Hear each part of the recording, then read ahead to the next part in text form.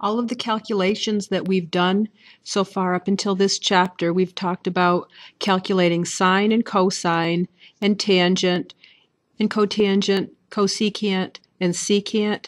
All those six things that we've been calculating, they're all functions. And one of the things that we can do with functions one of the things we can do with functions is we can graph functions. And that's what we're going to do today. We're going to talk about the sine function and the cosine function as a graph. So this beginning paragraph says sine and cosine functions can be easily graphed. And what we're going to do is we're going to look at the values of the quadrantal angles and if you remember the quadrantal angles, those are the multiples of 90 degrees. So 0, 90 degrees, 180 degrees, 270 degrees, 360 degrees. Those are quadrantals because those are the ones that are on the x and y axes. They're not in a quadrant. So we're going to um, determine the sine of those and the cosine of those angles, and we're going to put them together in a chart. And um, trigonometry is very useful in other areas of science like physics and it's also very important in calculus and there's a lot of trig graphing that goes on in those in those other subjects. So um, because those are upper, upper level subjects um, most of the trig graphing that's done there is um, when the when the angles are in radians not degrees so we're going to be talking about all of these angles in radians instead of degrees when we do all of our graphing. So what we're going to do first is we're going to look at two functions. The first function is called f of x. And this f of x is the sine of x. And then we're going to look at another, I think I'll do these in colors. So we'll look at f of x which is going to be a blue graph, and that's our sine of x. And then we're going to look at g of x. This is a second function, and the second function is going to be cosine of x. And what we're going to do is graph them down here. So in order to graph functions, usually what we do is we fill out a table of values. These are x and y values along here, so we can graph them as x, y points. So first of all, we're going to fill out, it looks like the cosine is the first row. So we're going to figure out the cosine of all of these quadrantal angles. And if you wanted to just convert these into degrees, 2 pi is 360 degrees. So this is like negative 360 degrees. This would be negative 270 degrees, negative 180 degrees, negative 90 degrees, 0 degrees, and now we go positive 90 degrees, 180 degrees, 270 degrees, and 360 degrees. And I just wrote those degrees down because usually it's easier to talk about, or we're more used to uh, talking about angles that are in degrees. So if we want to look at the cosine and the sine of those, we can either pull out our calculator and ask them ask the calculator, and that's probably the quickest way, or we could look at the unit circle. So I'm just going to pull out my scientific calculator and do the cosine of negative 360 degrees. And my calculator says that's equal to 1. And then the cosine of negative 270 degrees. Quadrantal angles can all be done in the calculator, and that's equal to 0. And the cosine of negative 180, that's equal to negative 1. And the cosine of negative 90 is equal to 0. And the cosine of 0 is the same thing as the cosine of negative 360, so that's equal to 1. You can ask your calculator this. And the cosine of 90, I know that from my unit circle, all of my important numbers around the unit circle. The cosine of 90 degrees is 0. The cosine of 180 over here is negative 1. The cosine of 270 is 0, and the cosine of 360 is 1. So what we have is our x values here. These are the y values here. y is equal to the cosine, or in other words, g of x. And now that we have our x and y values, what we're going to do is we're going to plot those as points on these um, on this graph right here. The x values, these are the angles and these angles are in radians. You can see that um, the X grid has already been filled out in radians. So you should probably put that down. This X is angles in radians. And the Y value is all of these values that we filled out. And the y value, the maximum y value in this whole line is equal to 1. And the minimum y value is equal to negative 1 down here. So we'll put those on our y-axes. And so now we're going to start out way back here at negative 2 pi. That's what x is equal to. And like I said, I think I'll do these in colors. I'll do g of x, which is our cosine curve in red. So we have x is equal to negative 2 pi and y is equal to 1. So we're going to start here. The next point we're going to plot is x is equal to negative 3 pi over 2, y equals 0. The next one is pi comma negative 1. The next point is negative pi over 2 comma 0. The next point is 0 comma 1. The next point is pi over 2 comma 0. The next point is pi comma negative 1. The next point is 3 pi over 2 comma 0. And the next point is 2 pi comma 1. So we should have 1, 2, 3, 4, 5, 6, 7, 8, 9 different points plotted from these xy values that we just put up here. And when you plot a sine and a cosine curve, you should make this very smooth. And what I mean by smooth is you should have this arc going down. It's like a concave down direction. So start there. And then the next one will be concave up. So it kind of is like an S-shaped graph. So make sure you start it off like this. And then another concave up. So this is kind of like a smiley face down here. And then we kind of, kind of have like a frowny face down here. So be very careful and, and eventually your graphs are going to probably look a lot better than mine. And then we have a little smiley face going on down here it bottoms out and then we have a nice little rounded curve here. So we're going to say this is g of x is equal to the cosine of x. Make sure you label that. Next thing we're going to do is graph the sine curve. And we can again go through all of these values on our calculator, find out the sine of negative 360, and that's equal to 0. And we can figure out the sine of negative 270, which is equal to positive 1. So we have a 0 and a 1, and the sine of negative 180 is equal to 0, and the sine of negative 90 is equal to negative 1. So we have a 0 and a negative 1 here. And 0 degrees and negative 2 pi are, are um, coterminal angles, so they have the same sine value. And we can tell from our unit circle that the sine of pi over 2 is equal to 1, or 90 degrees. The sine of 180 is 0. The sine of 270 is negative 1, and the sine of 360, or 2 pi, is 0. So now we have another set of y values with these same set of x values, and we're going to plot those. So we're going to start here with negative 2 pi, comma 0, and then go to negative 3 pi over 2, comma 1, negative pi, 0, negative pi over 2, negative 1, 0, 0, pi over 2, 1, pi 0, 3 pi over 2, negative 1, and 2 pi 0. So now we have those nine points, and we're going to again connect these with a nice smooth curve. So we're going to start out here with kind of a frowny face. It's like an upside down parabola almost. Make it nice and round on the top. And then down here on the bottom, you're going to make this nice and round like a parabola that's smiling. And then we got another parabola shaped thing that's frowning. And then another one that's smiling. So now we've graphed our second function, and this is f of x. So our f of x is equal to the sine of x. So those are the two basic curves in trig the cosine curve in red and the sine curve in blue. And what we're going to talk about next is the domain, excuse me, and range of these, which is exactly the same for both. Now what you should really put on the ends of these graphs is you should put an arrow on the ends because we could actually go back to angles smaller or less than negative 360 and we could go on and have angles that are greater than 360. So these curves just go up and down and up and down and up and down forever and ever. And then we'll put um, put arrows on the end of your cosine curve because they go on and on forever.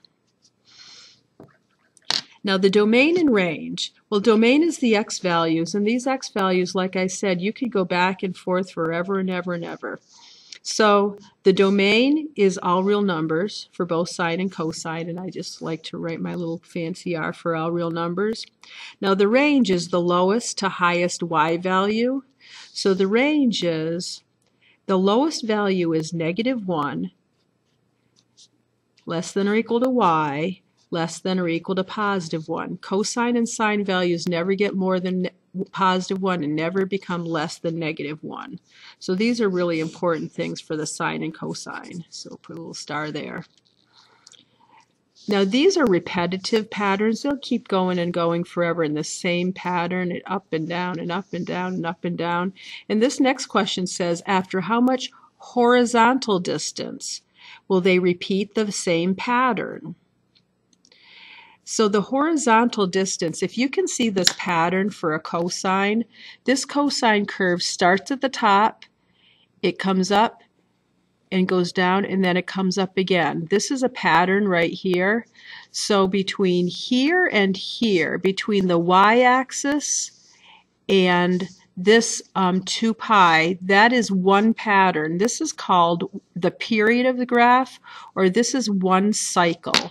So I'd like you to put one cycle down. The cosine curve looks like this. It's like a valley. And the sine curve has this kind of pattern. It comes up and down, and then it goes down and up. But this has this is one cycle of the sine curve because if you can see, here's another cycle of the sine curve. So between the y-axis and this end, there is one cycle. And between this negative 360 and this y-axis, this is another cycle. So what we've done is we've graphed two full cycles. One here, here's the cup for the, I call it a cup for the cosine, and here's the S-shaped one for the sine. And so after how much horizontal distance is this? Well, this is the horizontal distance after how, how much horizontal distance? This is 2 pi because between here and here this horizontal distance is 2 pi or 360 degrees. This is called the period of y is equal to the sine of x or or and y is equal to the cosine of x. Okay, because these graphs have patterns that keep repeating over and over and over again, they're called periodic graphs. Going on to page two. Now what we're going to do is we're going to put coefficients in front of the cosine curves up here and the sine curves down here. All we've done is we've added this 3 or a negative 4 or 3 has. We're just adding a number in front of it. And what this is called is an A. So we're putting a number in for this A. So this is telling us we're changing the coefficient. The coefficient is just a number that you multiply a function by. So what we're going to do now is we're going to take our graphing calculators out. Let's see if I have one with batteries here. Nope.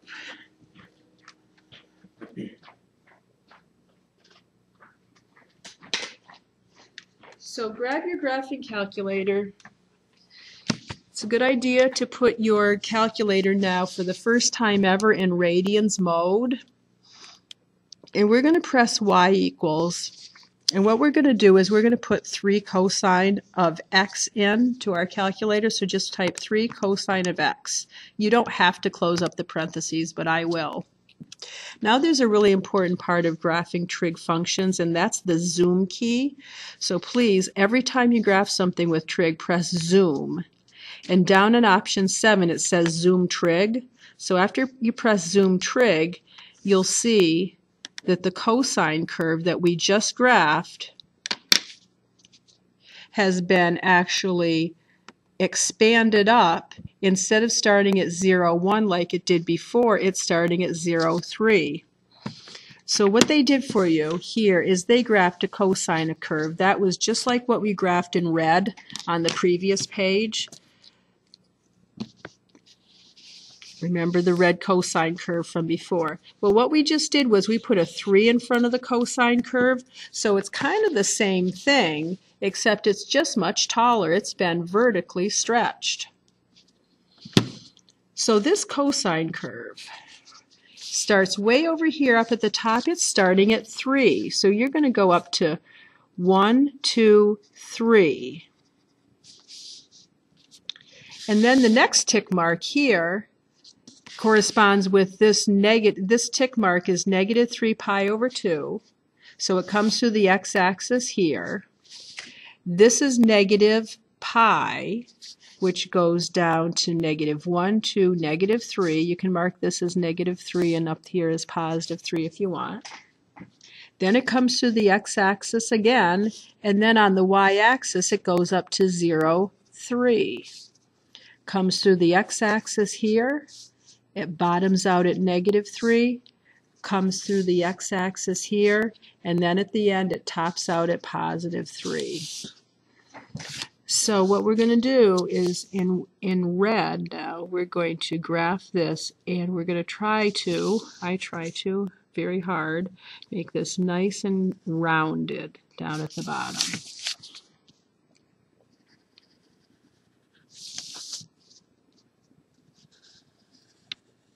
So I'll just mark this, this is in red, and this is y equals 3 cosine of x. The next thing we're going to do is y equals negative 4 cosine of x. So the only difference we're going to do is we're going to put a negative and insert a 4 in here. So we've got negative 4 cosine of x and press graph. And what a negative does in front is it turns it upside down, right? Here was, here was what the graph looked like before, but now it's been turned upside down and it starts now way down here at negative 4. Negative 2 pi negative 4 comes through the x-axis in the same place. Negative pi positive 4 goes to the x-axis, and then on the y-axis it goes down to negative 4. So I'm going to do this in a different color. I'll do this in blue here. So starts down here at negative 4, comes through the x-axis at negative 3 pi over 2, and then it goes up to positive 4. Then it goes through the x-axis here, and then it goes down to negative 4. And then it repeats that pattern again through the x-axis, up to positive 4, through the x-axis, and down to negative 4. And now, if we can make this nice and round, down at the bottom and up at the top, round this around so it's not a V shape. This should be U-shaped instead of V-shaped.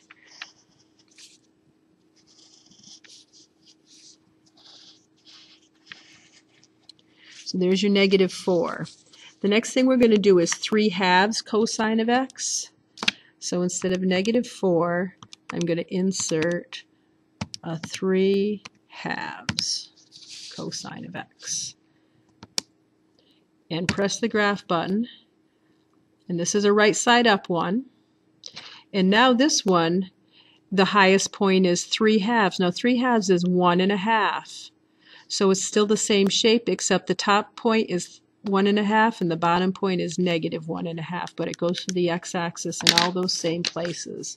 So I think I'll do this one in green. So back here you're going to go up to one and a half, going through the x-axis at the same place, negative one and a half, through the x-axis, positive one and a half, through the x-axis, negative one half, through the x-axis positive one and a half. And then come down make this nice and round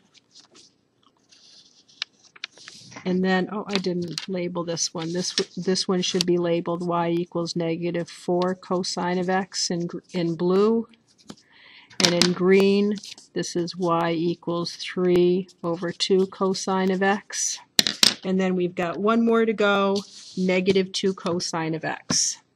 So y equals negative 2. And you can probably imagine what that's going to do. It's going to be upside down like the negative 4 one was, but now we're going to go down to negative 2. So I'll do this one in black. So negative 2 starts at negative 2, goes through the x-axis, comes up to positive 2, goes through the x-axis, down to negative 2, through the x-axis, up to positive 2, and down to negative 2. And then curve this around. And now we've got a pretty butterfly looking thing here that we're going to label as y equals negative 2 cosine of x. All right. Now what we have here is a new vocabulary word called amplitude. Amplitude controls the height of these graphs. The only difference between all these graphs is how high they are. And how high they are is actually what this coefficient is. It's actually the absolute value of these numbers is the amplitude. So on this one, the amplitude, and I usually abbreviate it as AMP, the amplitude is equal to 2. Amplitude is always positive. You should write down amplitude, always positive. And that's where the word amplifier comes from, is the amplitude. And this one, the amplitude is equal to 3 halves. And this one, the amplitude is equal to 4 because the highest point is 4 and this one the amplitude is equal to 3 so there's your new vocabulary word for this. Now it looks like this uh, video is getting kind of long here 22 minutes almost. And what I'd like you to do before tomorrow please is if you could do the same thing with the sine curve. This says without the use of your calculator, but I would let you use the calculator. I'd take this without the use of calculator off and just put y equals 2 sine of x and see what that looks like. Looks just like your sine curve did on the other page, except it goes up to 2 and down to negative 2. So you can do that. Actually, I'll do this on the video.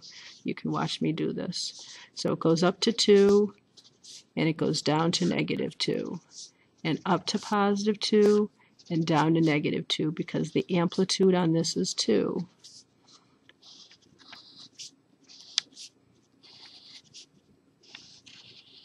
So this one is, this red one is y equals 2 sine of x. And y equals 4 sine of x. Change the 2 to a 4.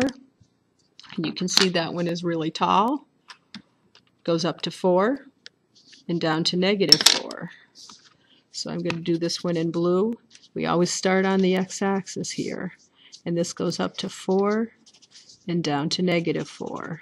Goes through the x-axis always at the same place, up to positive 4, down to negative 4. So this is a tall one. This has got an amplitude of 4.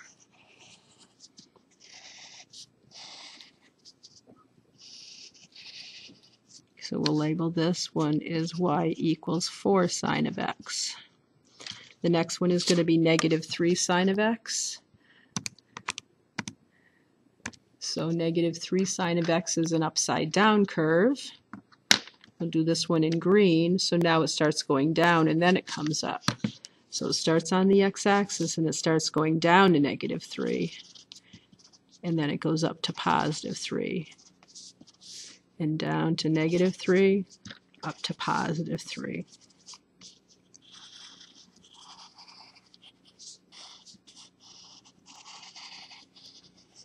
So this is y equals negative 3 sine of x. It's upside down. And then the next one is negative a half sine of x. 1 half.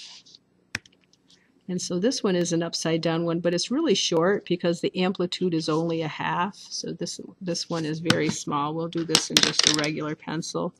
So it starts on the x-axis and it only goes down to, it goes down to negative a half. Comes up to positive one half here. Goes down to negative a half here positive one half here. You can label this y equals negative one half sine of x and that is done with pencil and this one is done in green pencil And then the only thing we are going to do is label the amplitude. The amplitude on this is 2. The amplitude on this is 4. The amplitude on this is 3. Remember, amplitude is always positive. And the amplitude on this is a half. And there you've got some pretty pictures. So we'll get some more practice with this tomorrow. Sorry this is so long. Have a great night. Bye.